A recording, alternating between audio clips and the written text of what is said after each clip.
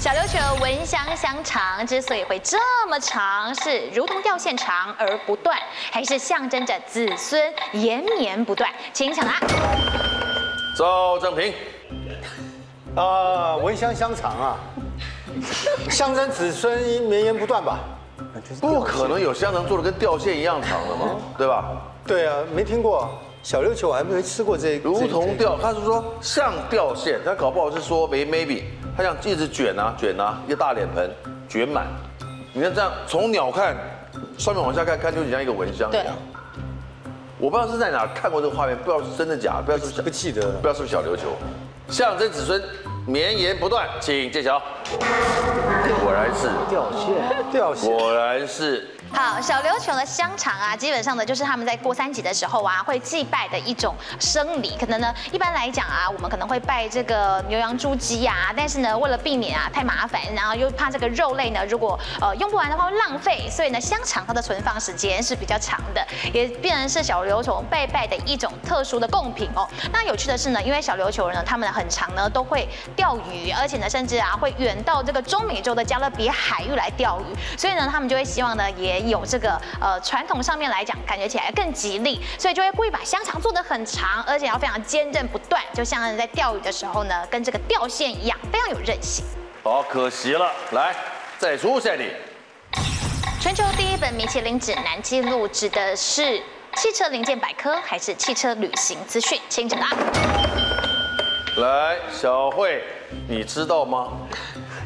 可以猜猜看，第一本米其林呃米其林指南，我觉得是汽车旅游资讯。请揭晓。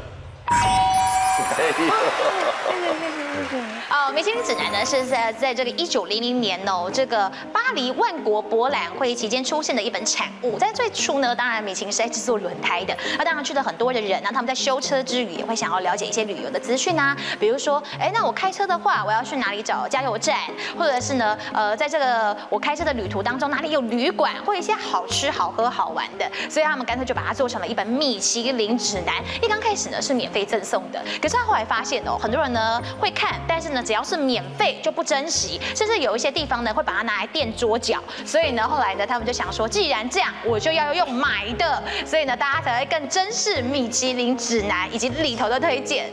来，小慧，好，准备开箱。嘿嘿，那就六楼之五好了。我选当当的隔壁，应该就不是当。很奸诈。不一定。不一定。说，开枪。是有钱的吧？九千，哎呦，漂亮。我谢谢你。我们节目开始一段时间了，现在全部人只有一个九千，只有两题，浮夸。请出下题。花雕鸡的“花雕”一词源于刀上的花纹，还是酒坛上的雕刻？请抢答。赵正平，花雕鸡的花雕啊，三、二、一。刀上的花纹吧？你为什么不猜酒坛上呢？它不是花雕酒做的鸡吗？哦，对，对对对。哎，也没事啊，答错，反正我还有机会答的对就好了。但是我不希望你浪费我们的题目。那怎么办呢？那是那么卡卡接重录一个。刀上的花纹，请揭晓。到底是什么呢？我们都喝过中国的绍兴哦。那绍兴酒呢，它产自于浙江。那这个呢，它更优良的绍兴酒，并且存放在有雕花的瓮里头，经过了陈年的这种就叫做花雕酒。那因为呢，它的这个品质比较优良嘛，所以它的瓮上面呢，通常啊都会有一些花草鸟兽啊，象征吉祥的这些雕刻，所以呢，这个东西就称之为花雕。啊，可惜了啊。嗯 等一下，我想请问一下，你们有规定来的来宾每一题都要答对吗？呃，没有，对嘛？但是不建议经常答错。